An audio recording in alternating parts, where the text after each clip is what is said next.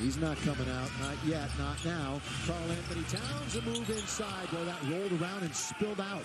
Wenyen Gabriel has his fifth rebound. LeBron going hard to the rack. Here he goes. Kind of it goes. It goes. And one for the King. 83-79 as he'll go to the line. Just bigger and stronger than the opposition. He just takes it against a couple of defenders and ends up right in the chest of Karl-Anthony Towns and gets the whistle, gets the basket, and it gets the three-point opportunity.